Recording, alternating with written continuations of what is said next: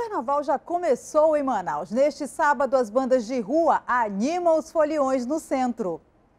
Na Marquês de Santa Cruz, os foliões se reuniram para mais uma edição da Banda do Jangadeiro. Já é a 13 terceira. A Banda do Jangadeiro tem uma tradição de reunir as pessoas aqui na área para se divertirem, a diversão sadia.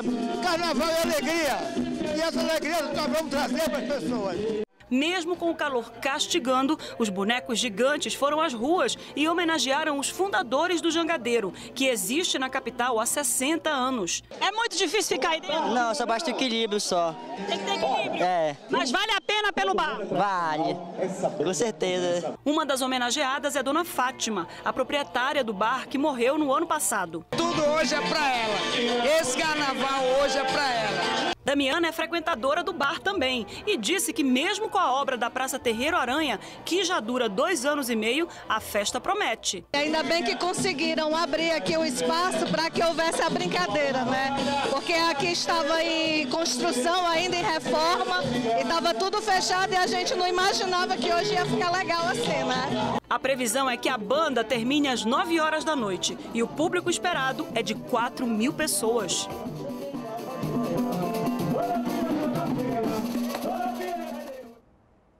E um trecho da Avenida Boulevard Álvaro Maia vai ser interditado amanhã. É pro esquenta da tradicional banda do Boulevard. Os detalhes com Marcela Asmar. Olá, Mariana Rocha. Ainda nesse clima de carnaval, eu venho aqui para avisar para você que está aí do outro lado que a Avenida Boulevard Álvaro Maia vai ser interditada amanhã, porque vai acontecer o esquenta da banda do Boulevard. Então, todo mundo que vai trafegar por aqui precisa ficar atento aos horários de interdição. Às 8 da manhã, interdita o trecho entre a Constantino Neri e a Santos Dumont. E às 4 horas da tarde, o trecho inverso da Avenida Boulevard Álvaro Maia. Então, todo mundo que precisa transitar por aqui pode usar os desvios, viu? No trecho bairro Centro, você pode utilizar as avenidas Pará, Japurá e Constantino Neri. E no trecho Centro-Bairro, a opção de itinerário inclui as avenidas João Valério, Maceió, Constantino Neri e Caco Caminha. No próximo domingo, às 4 horas da tarde, quem quiser prestigiar a banda do Boulevard, a banda vai homenagear esse ano o prédio da Faculdade de Direito da Universidade Federal do Amazonas, antiga UA chamado de Jaqueira. Então, o, tema da banda do Boulevard é Abre tuas portas, Jaqueira querida para poder homenagear esse prédio. Então, muitos, muitos formados em direito, profissionais da advocacia, hoje juízes, promotores, todos eles estarão aqui homenageando esse tradicional prédio da Faculdade de Direito da Universidade do Amazonas. Antiga UA, hoje o FAM. Volto com você, Mariana Rocha. Obrigada, Márcia Lasmar. A gente continua falando de carnaval porque os foliões com mais de 60 anos de idade caíram na folia durante o tradicional baile de máscaras no Centro de Convivência do Idoso, lá no bairro Aparecida. É proibido ficar parado.